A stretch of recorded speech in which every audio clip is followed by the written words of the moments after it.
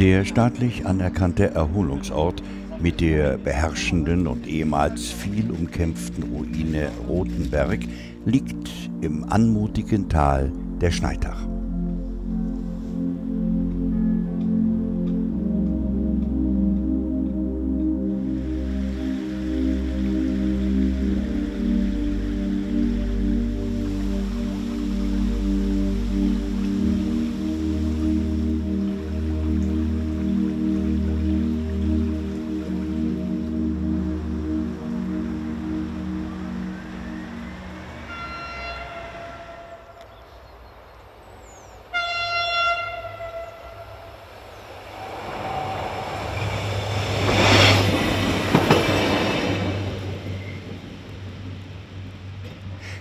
Regionale Schneitachtalbahn ist die Verbindung zum Großraum Nürnberg.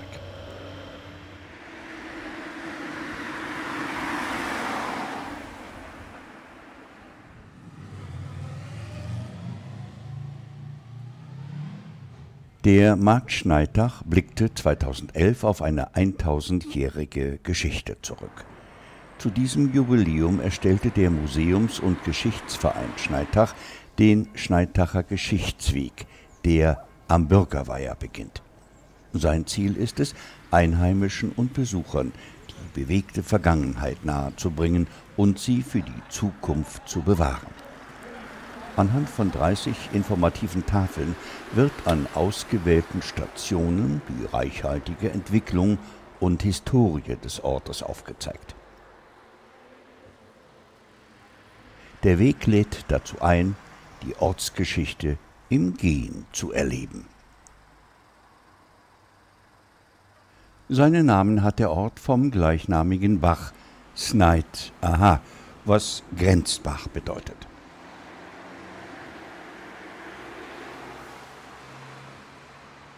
Im Jahre 1011 schenkte der spätere Kaiser Heinrich II. neben sechs weiteren Orden den Domänenhof zu Schneitach an das Bistum Bamberg.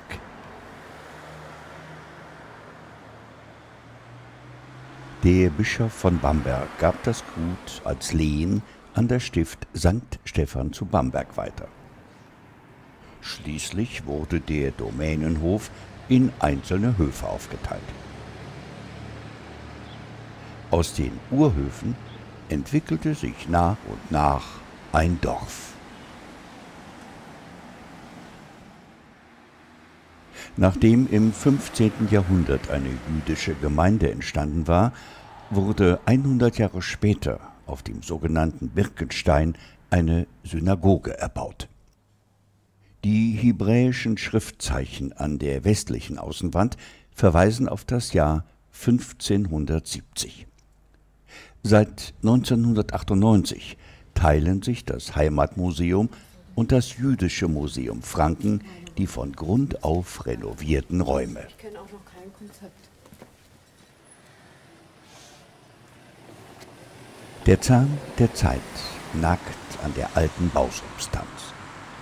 Während viele Gebäude noch auf ihre Sanierung warten, wurde das historisch wertvolle Gebäude der alten Badstube vor ein paar Jahren durch eine Generalsanierung vor dem Verfall gerettet.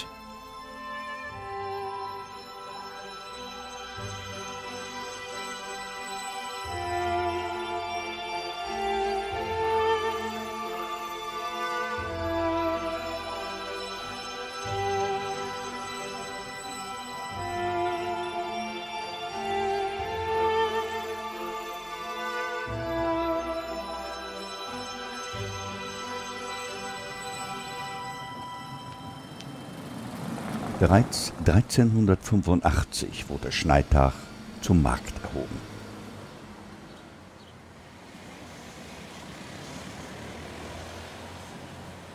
Ich bin fein nicht auf der Brennsuppen dahergeschwommen. Ich auch nicht.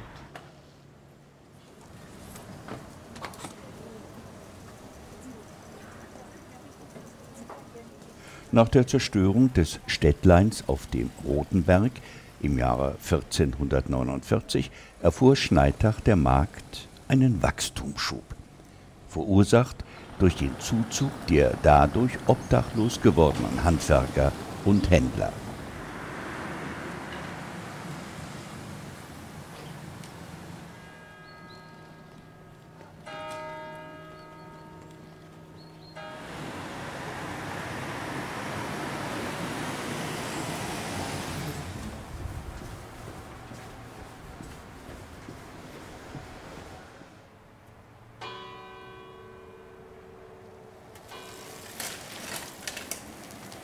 Die Anwesen in der von Süden nach Norden bergab verlaufenden Mühlgasse, im Volksmund als Mühlzipfel bezeichnet, bilden ein kontinuierlich gewachsenes, dicht bebautes Wohnviertel.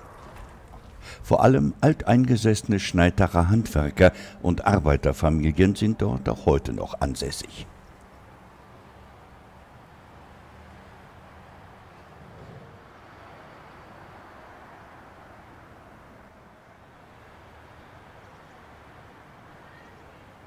Mühlgasse endet beim Anwesen Marktmühle.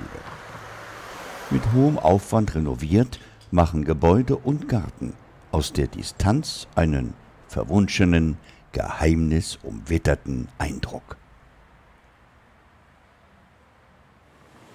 Nach dem Abbruch des baufälligen alten Rathauses am unteren Marktplatz hatte Schneidach 83 Jahre lang kein Rathaus. Ein neues wurde erst 1892 am oberen Tor erbaut. Das heutige Wappen wird seit 1663 verwendet. Es versinnbildlicht die Zugehörigkeit Schneidachs zur Oberpfalz mit dem Pfälzer Löwen und zur Herrschaft Rothenberg mit der mehrtürmigen Burg.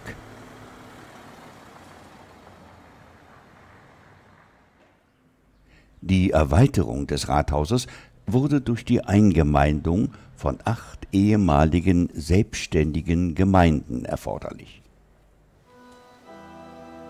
Dazu zählen unter anderem die Ortschaften Osternohe mit dem Schlossberg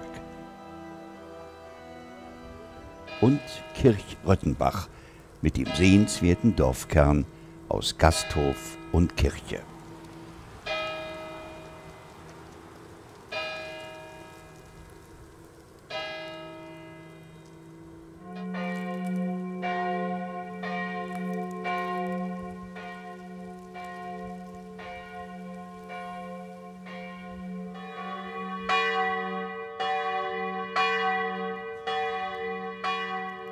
Nicht weniger sehenswert ist die Pfarrkirche St. Kunigund in Schneidach.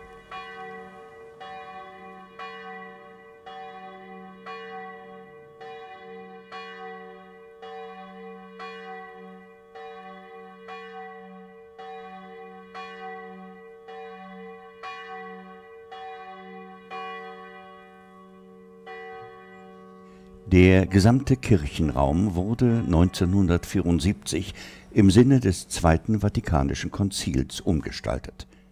2009 fand eine umfangreiche Innenrenovierung statt, die der Kirche ihr heutiges Aussehen gab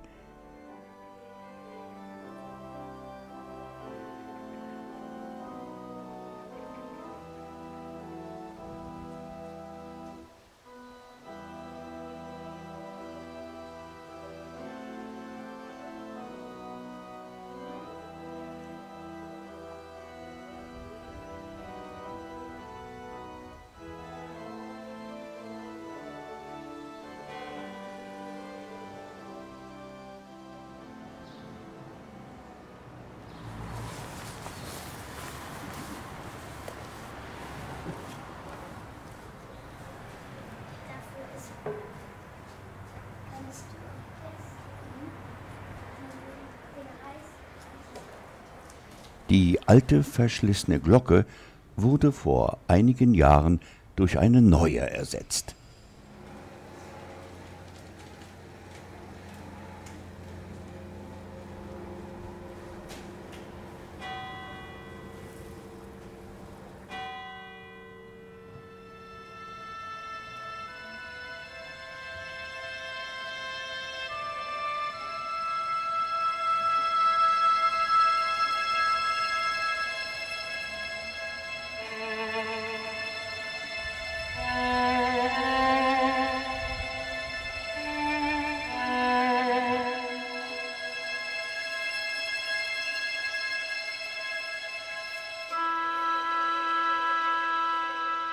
Der älteste der drei jüdischen Friedhöfe wurde urkundlich erstmals 1478 erwähnt.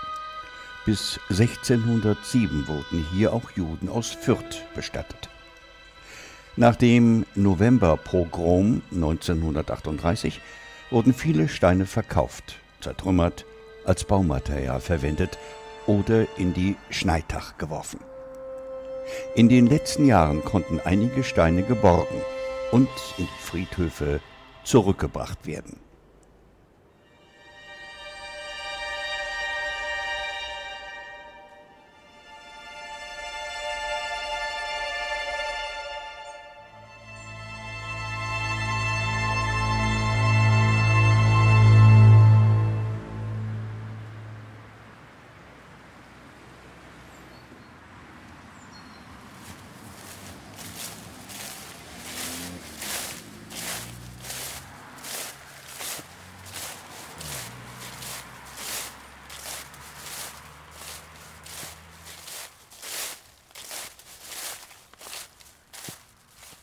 Kapelle hier hat schon viele Situationen erlebt, von der Bedrohung durch den Abriss bis zur Erweiterung und Vergrößerung. Die Kirche wurde zum ersten Mal angefangen im Jahre 1723. In zwei Jahren haben wir dann 300-jähriges Jubiläum hier. Diese Kirche wurde aus Eigenmitteln der Bevölkerung durch Spenden und durch Eigenarbeiten gebaut und deshalb entging sie 1803 bei der Säkularisation auch dem Schicksal des Abrisses. Moscherat hatte verfügt, dass viele Kirchen und Klöster aufgelöst wurden, so sollte auch diese Kirche dem Abriss zum Opfer fallen der Widerstand der Bevölkerung und die Tatsache, dass die Kirche nur durch Spenden und Eigenmittel gebaut wurde und weil ein paar Jahre später ein Friedhof angelegt werden sollte, weil die Friedhöfe im Ort zu klein waren. Auch dieser Umstand hat dazu beigetragen, dass die Kirche gerettet wurde. Es wäre ein großer Verlust gewesen, wenn man dieses barocke Kunstwerk dem Boden gleich gemacht hätte. Auch in der Zwischenzeit haben sich viele Bürgerinnen und Bürger um die Kirche gekümmert, sie restauriert, zuletzt im Frühjahr und Sommer dieses Jahres innen und außen, sodass sie, wie sie jetzt dasteht, erstrahlt.